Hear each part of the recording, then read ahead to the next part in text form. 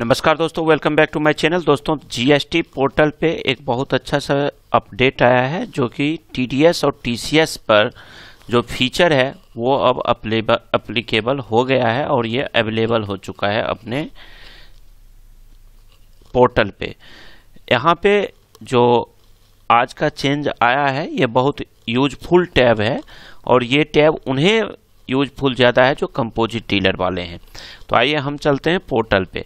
ये पोर्टल देख रहे हैं, यहाँ पे आप डैशबोर्ड पे जाएँगे। डैशबोर्ड पे जाने के बाद आप सर्विस में जाइए। सर्विस में आप रिटर्न में जब जाइएगा तो रिटर्न में आप देख रहे हैं कि T D S and TCS credit received ये बहुत ही इंपॉर्टेंट है। T D S and T C S received का जो क्रेडिट का जो रिसीव्ड है, ये क्या होता था कि ये क्वेश्चन रहता था लोगों के लिए कि जो कंपोजिट वाले का अगर कोई गवर्नमेंट सप्लाई किए हैं गवर्नमेंट को, और वहाँ T D S T C S काट लिया जाता था गवर्नमेंट के थ्रू और जमा होता था तो क्या उस क्रेडिट को हमें देखने के लिए, हमें उसे फ़ाइल करने के लिए रिसीव करने के लिए ऑप्शन अपने पास नहीं आया था?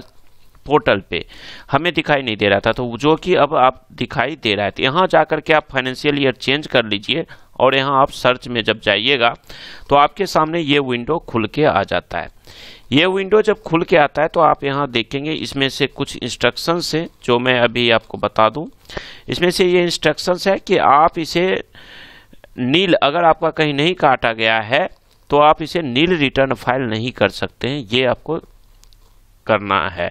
क्योंकि यहाँ पे ऑटोमेटिक आपको टीडीएस और टीसीएस डिटेल जीएसटीआर सेवन और एट से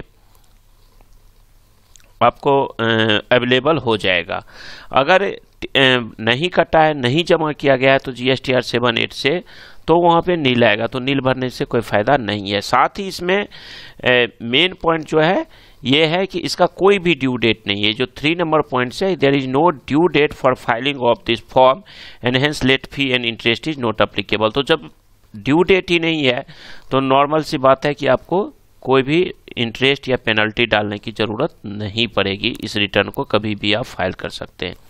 उसके बाद you can file the T D S and T C S credit received from form for M period without m period without filing m minus 1 period TDS and TCS credit received, that is, you can file m minus 1 period return after filing of m period return. तो यहाँ पे आपको कहीं दिक्कत नहीं और साथ ही इसका जिस तरह से और सारे रिटर्न आप भरते हैं ऑनलाइन में उसी तरह से यहाँ भी है जो 500 वाला जो आपको है, जो 500 जब हो जाता है तो आपको ऑफलाइन यूटिलिटी लेना होगा। तो ये सारे चीज़ें जो और रिटर्न में जी एस वन में जिस तरह से आप भरते थे, ठीक उसी तरह से यहाँ पे भी भरना है और इसी उसमें भी उसी तरह से जे फ़ाइल होगा, उसको आप अपलोड कर सकते हैं। तो यहाँ पे यही देखना है। अगर आपको ऑनलाइन करना है सॉरी ऑनलाइन करना है तो आप यहाँ से प्रीपेयर ऑनलाइन में चले जाइएगा। अगर आपका कटा है तो वो ऑटोमेटिक आ जाएगा।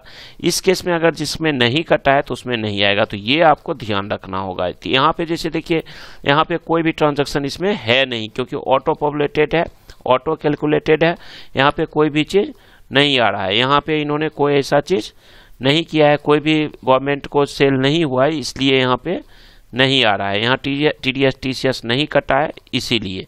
अब हम नील फ़ाइल करने की ज़रूरत नहीं है। अगर अदरवाइज़ अगर यहाँ पे डेटा होता तो हम इसे प्रोसीड टू फ़ाइल कर सकते थे। या आप यहाँ से प्रीव्यू निकाल लीजिए, अपना जो ड्राफ्ट प्रीव्यू आता है, वो आप निकाल के मिलाने के लिए रख सकते हैं। फिर अपना आप प्रोसीड टू फ़ाइल कर दीजिए, जो भी प्रोसेस आपका जीएसटी आर वन का है। तो ये एक बहुत बड़ा बदलाव था दोस्तों, जो कि जीएसटी चैनल पे अब आ चुका है। तो आ, मुझे उम्मीद है कि आपको वीडियो पसंद आई होगी और सबसे मेन बात है कि इसे आप जितना ज़्यादा से ज़्यादा हो सके लोगों को शेयर करिए। इससे उन्हें फ़ायदा होगा क्योंकि न्यू फीचर्स है। तो थैंक यू बाय